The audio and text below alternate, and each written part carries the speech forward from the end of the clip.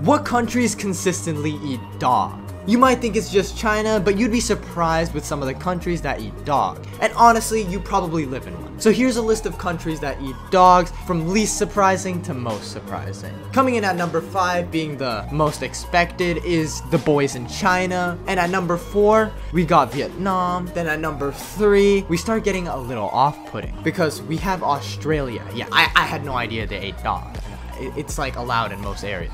At number two, we have Switzerland, and I didn't think they would eat dog either, like, come on. But before I get to number one, subscribe if you don't eat dog, because the number one spot is the USA.